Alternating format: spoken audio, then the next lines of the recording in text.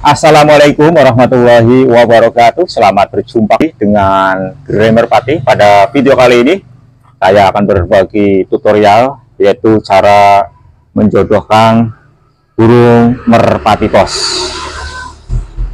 Bagaimana cara menjodohkan burung merpati pos? Untuk lebih jelas, ayo kita ikuti video selanjutnya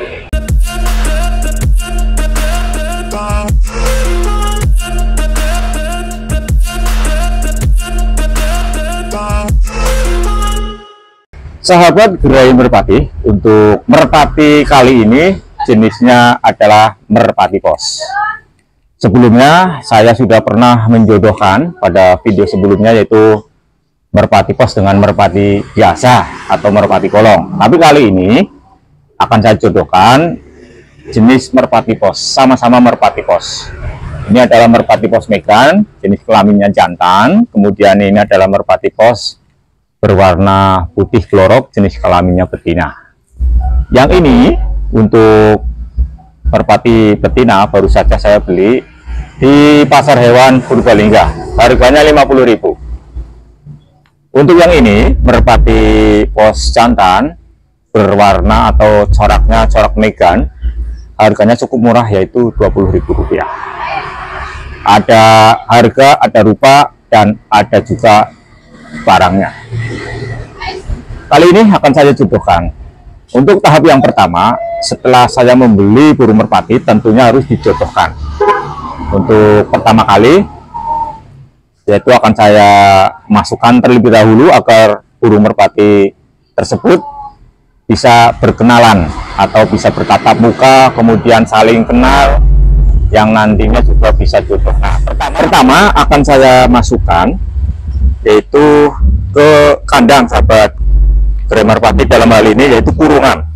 Setelah saya sudah membelinya untuk merpati pos, kemudian saya jodohkan.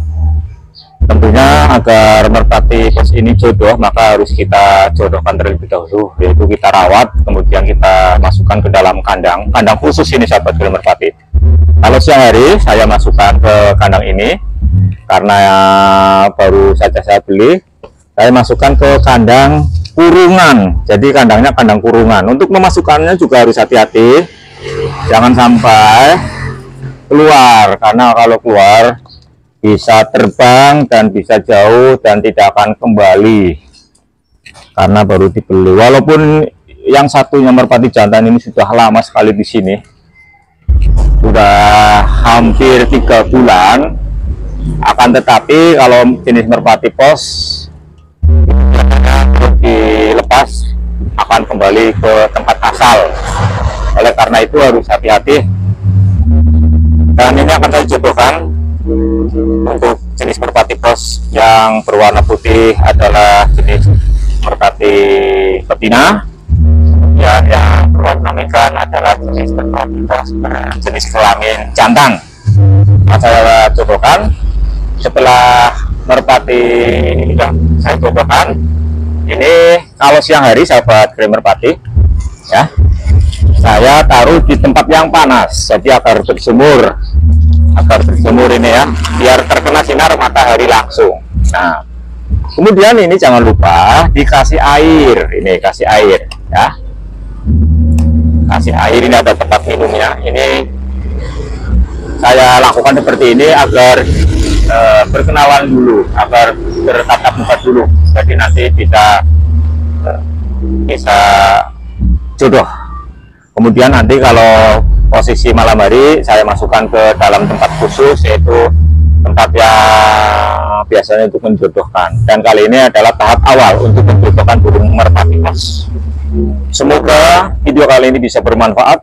Mohon maaf atas segala kekurangan terus dukung channel youtube kami dengan cara subscribe dan bagian video-video kami tekan tanda lonceng sehingga nantinya sahabat Grammar Pati bisa mendapatkan notifikasi terbaru dari video-video terbaru kami. Mohon maaf atas segala kekurangan. Terima kasih. Wassalamualaikum warahmatullahi wabarakatuh.